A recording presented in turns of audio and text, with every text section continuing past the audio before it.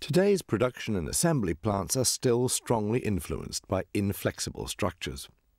Machine and assembly areas are linked with fixed conveyor elements such as roller conveyors, chain conveyors, or other transportation equipment. But the future will be more flexible. Flexible production layouts, depending on model changes or full utilization with batch size 1, will define the future of plants. The market will determine what will be produced, when, and how. To realize this, we will have to face the following challenge. Realizing perfectly implemented lean principles and technology approaches of Industry 4.0, and thus creating factories based on the successful philosophy intelligent interaction of people and technology within the work processes.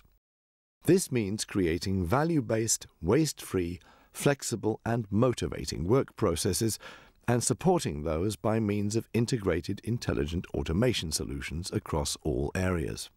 According to the lean philosophy, added value and, for example, logistics as a non value adding process step must be strictly separated. With Industry 4.0, currently separated functions such as production, assembly, and logistics will be intelligently linked and thus combined into one integral system.